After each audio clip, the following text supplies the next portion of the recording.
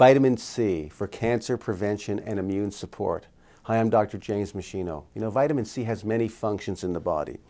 One of them is that it's important for making joint cartilage and also collagen formation throughout the body. And collagen really is sort of the cement substance that supports many of the tissues of the body so they don't collapse and, and uh, lead to deformities. And in that mode, vitamin C is required for wound healing.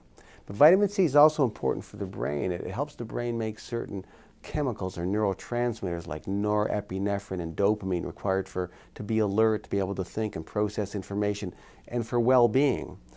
Vitamin C also enhances the absorption of the mineral iron.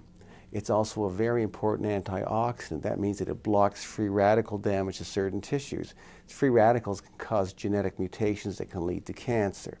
Vitamin C has also been shown to support immune system function.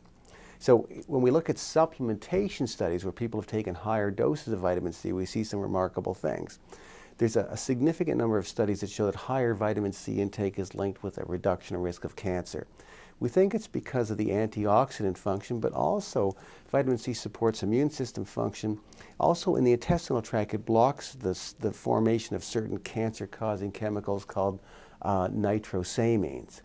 And higher doses have been shown to support immune system function, uh, bringing compromised immune systems back to uh, a normal, healthier functioning level, and, de and decreasing in some studies the severity and duration of the common cold. In patients that have been exposed to toxic chemicals, giving them high doses of vitamin C has been shown to bring their immune system back. Their natural killer cell function comes back. Their lymphocytes come back and function better. In patients with asthma, it has an antihistamine effect, which has been shown to be helpful. It also prevents some lung damage from nitrogen oxide, a common dangerous element in air pollution and in cigarette smoke as well. It's been used in cancer treatment. A, couple, number, a number of studies have used high doses of vitamin C as part of the adjunct of nutritional management of cancer. It plays a number of roles in, in, in that capacity that I believe are, are really important. And then with respect to uh, cataracts, it's been shown to decrease the progression of cataracts and to even prevent their onset to a certain degree. And then in diabetics, it's been shown to have many positive effects on helping to improve glucose control, but also helping to decrease the likelihood cataracts will form uh, in the lens of the eye.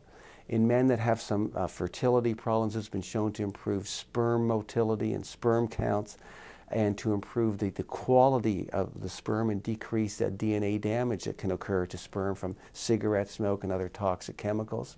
It's been shown to help reduce the likelihood of bed sores in people who are bedridden and to enhance the healing of bed sores. So vitamin C plays many important functions in the body. And sometimes supplementation is a good thing, but you have to know how much to supplement based on your own situation. So I would suggest you click on the link and, and read the article that I have, this review article on vitamin C. It'll shed some light on how you can ensure you're getting the right vitamin C for your own needs and how to supplement vitamin C, uh, how much vitamin C you should supplement to help manage specific health conditions. You'll also see that there's some people that shouldn't take vitamin C and certain drugs interact with vitamin C. These are all important considerations. Now, meschinohealth.com, you'll see my other research review papers. You'll see footage from my live professional seminars. You'll see resources and downloads I've created. They're all there for free to help you lead a long, healthy, functional life. All my research review papers and teaching materials are complete with all the scientific references, so you'll see you're getting evidence-based information from me on any health topic that you're looking for. So you should make meschinohealth.com an ongoing, reliable resource of health and wellness information for both you and your family. Thanks so much for watching.